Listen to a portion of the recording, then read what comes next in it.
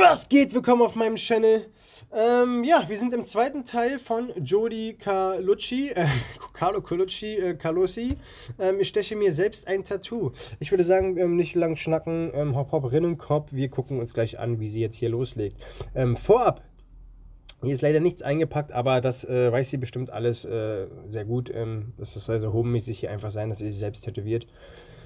Äh, ich kann mir gut vorstellen, dass sonst das alles eingepackt wäre, wenn sie quasi beim Tätowierer ist. Ähm, also was ich damit sagen will, ist, sie hat sich das bestimmt nicht jetzt so irgendwo abgeguckt, weil das ist das Schlechteste vom Schlechtesten. Und das wird niemals der Fall sein. Vaseline steht auf dem Tisch, Vaseline ist nicht gut. Beziehungsweise ist nur gut, um die Farbkappen äh, zu fixieren. Ähm, wir haben das Netzgerät, was nicht sonderlich äh, doll ist. Ist einer der billigsten. Man kann natürlich trotzdem damit arbeiten, gar keine Frage. Aber ich finde es also drehst du da einmal an dem rechten Knopf quasi, wo die drei Nullen sind, bewegt sich der ganze Kasten, will ich damit sagen. Also das Ding wiegt fast nichts und äh, ja, ich finde es einfach nicht gut. Die Maschine, ja, ich habe mit Maschinen immer so ein Problem, ähm, was genau das für eine ist. Das ist wie mein Eins, ja, das ist so mein Punkt, wo ich wirklich nicht weiß, was es, ja, was letztendlich damit äh, benutzt wird. Auf jeden Fall haben wir nichts eingepackt, aber wie gesagt, das weiß die alles. Aber das Kabel, sehe ich auch das Kabel erst, warum hängt denn da so ein roter... Alter, hä? Was hat sie denn für ein Kabel benutzt? Ist ja interessant.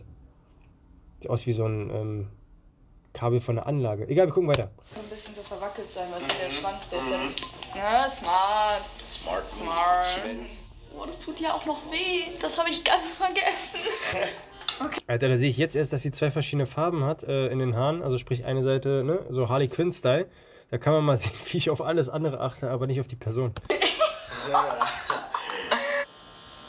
Okay, sie legt los. Sie wird auf jeden Fall, ja gut, sie hält es schon mal gut fest. Also sieht auf jeden Fall schon mal sehr professionell aus. Ich bin gespannt, ob die jetzt gleich Aua sagt und sich konzentrieren kann und gleichzeitig eine Linie ziehen kann.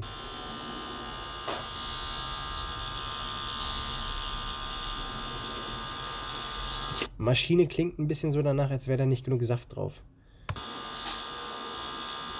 Jedenfalls zum Linienziehen.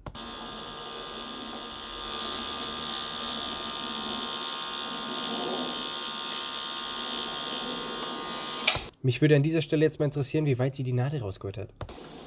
Das tut überhaupt nicht weh. Geil. Oh. Okay, ich werde Aber meistens, wenn es überhaupt gar nicht weh tut, ist die Frage, ob sie richtig drin ist in der Haut. Geil! Digga, ihr seid zu krank, ne? Kommen so rein vom Balkon, hacken sich so rüber. What the fuck? Alter, crazy. Das kann ja nicht sein, oder? Doch. Doch.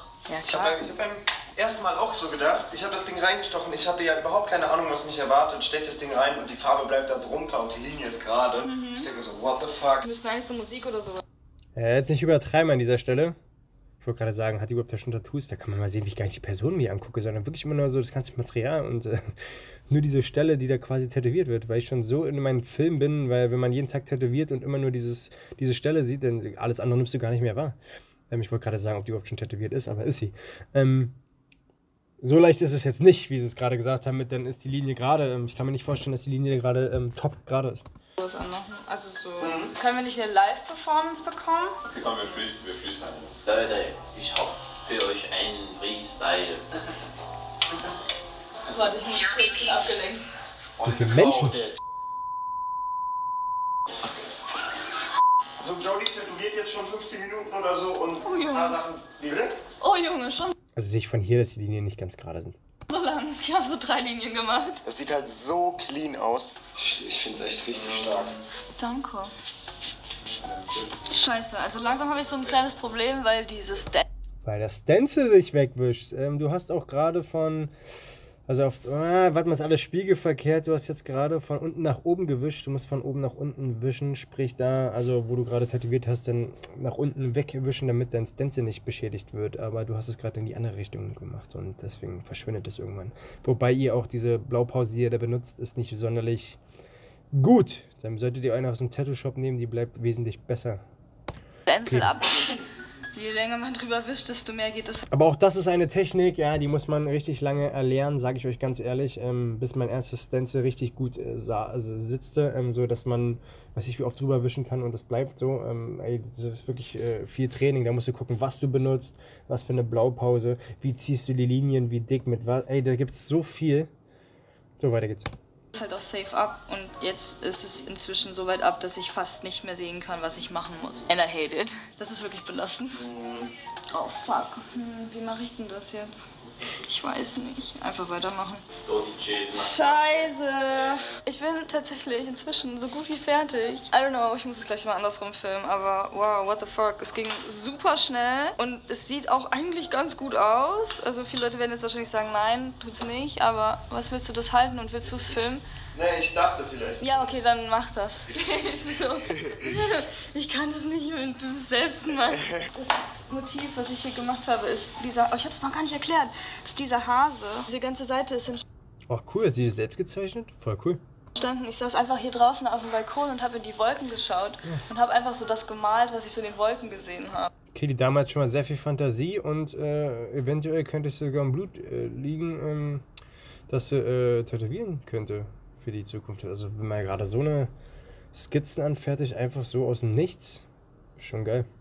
Und da ist das erste dieser Hase entstanden. Eigentlich tatsächlich schon auf dieser Seite, wo ich von meinem letzten Video die Skizze gemacht habe. Falls ihr das noch kennt, da ist dieser Hase entstanden. Den habe ich dann nochmal gemalt, weil ich den so geil fand. Und jetzt ähm, überlege ich, boah, eigentlich müsste ich auch diese ganzen Schattierungen noch machen, ne? Ich mag halt keine Schattierung, Nee, das aber keine Schattierung, das sind ja so Also, Striche. ja, ja, ja, so wie so Bleistift Genau, wie so, eine, wie so eine Skizze. Auf jeden Fall werde ich jetzt hier ein paar Striche nach unten machen, das so ein bisschen den Boden darstellen soll. Was ganz gut ist, weil das wird ein bisschen vielleicht die Füße überdecken, die ich Freihand malen musste. Es war keine einzige Linie mehr da. Dave, vielleicht auch für dich als Tipp, mach erst die Sachen, die so klein sind, wo du auf jeden Fall noch sehen musst, wo dein Stencil ist. Das hier ist halt dann einfach so aus meinem Kopf entstanden. Und dann auch noch auf dem Kopf.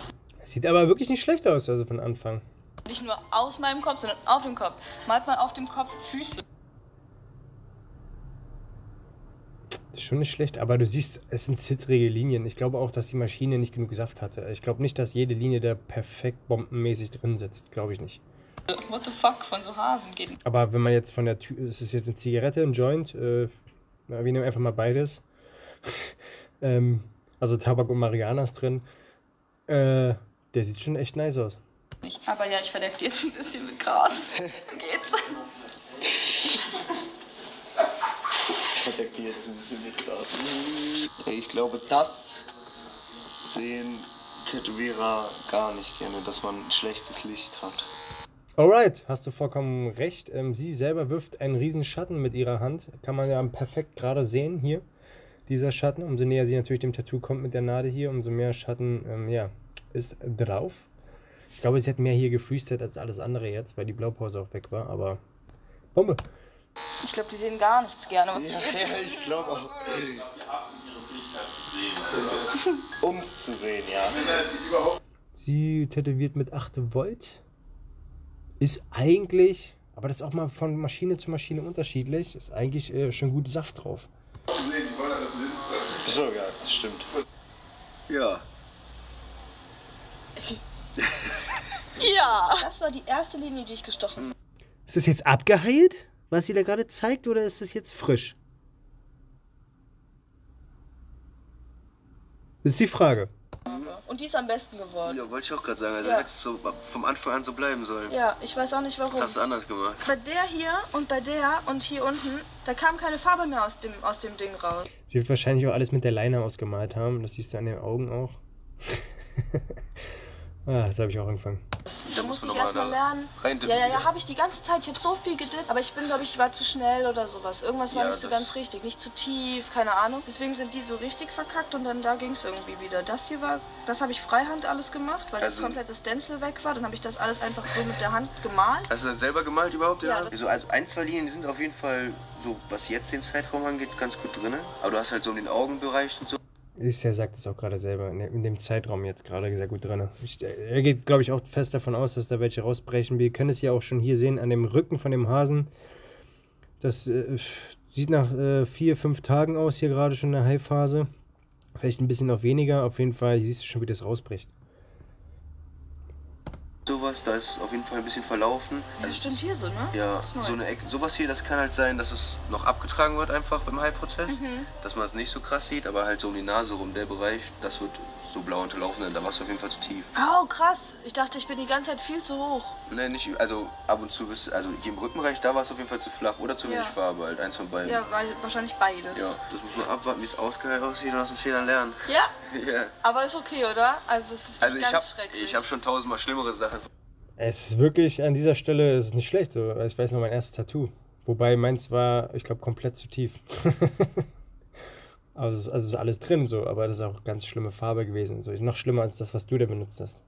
Gesehen, aber das ist halt, wenn man malt, dann kriegt man auf jeden Fall Linien besser gezogen, als wenn man gar keine Ahnung davon hat. Dann sind die auch nicht so wackelig. Mhm. Wird auf jeden Fall an einigen Stellen vernarben. Also, das ist halt die Kunst beim Tätowieren. Ja. ne? Das halt so zu machen, ohne Haut halt kaputt zu machen. So reinkriegt das halt, kriegen das viele Leute am Anfang. Mhm. Aber halt dann den Schritt weiterzukommen, dass es halt nicht kaputt geht, die Haut und nicht vernarbt und dass es auch wirklich dunkel bleibt, das ist halt dann der nächste Step. Wenn du das weitermachen willst, Tattoo stechen ohne Ende. Opfert euch, Leute. Jody braucht Opfer. Oh, schreibt mir eine DM. Termine sind jetzt offen. Aber vielleicht klappt es auch schnell, dass du den Schritt nach vorne machst halt. Also, ich habe dir schon ein paar Mal gesagt, du sollst dir besser einen Lehrer suchen dafür. Zu Ja, Hause ist es nicht. aber Das muss ich nochmal betonen bei so einem Video. das habe ich auch schon tausendmal gesagt in diesem Video. Du kriegst die Basics auf jeden Fall beigebracht, wie Mhm. man Linien zieht und sowas. Aber dass es halt immer besser wird und immer sauberer aushält, so, das geht nur, wenn du halt wirklich jemanden hast, der hast, dir echt dich zeigt. Ja. Ja, schön, dass du mich an. Ich bin mal gespannt, ob sie weiter da am Ball bleibt. Das wäre sehr interessant. Gestellt hast. Ich komme dann morgen zur Arbeit. Nee, morgen Das war's aber, weil was werden wir in diesem Video noch sehen? Ähm, ich muss es wieder ein bisschen kürzer halten, weil sonst ist es einfach zu viel Input, ja. Ähm, ja. Finde ich gut, sollte am Ball bleiben, hat auf jeden Fall Talent. Ähm, was das Tätowieren jetzt auf der Haut äh, betrifft, ähm, also man muss da öfters üben, ganz klar. Ähm, aber die Zeichnung, die sie da gemacht hat, ist schon echt cool. Also ähm, die hat auf jeden Fall was auf Tasche.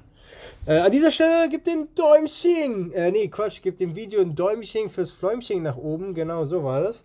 Ähm, ähm, ähm, abonniert den Channel und aktiviert die Glocke, damit ihr am Ball bleibt. Äh, wir sehen uns schon wieder im nächsten Video. Das war's. Bis denne. Antenne. Haut rein.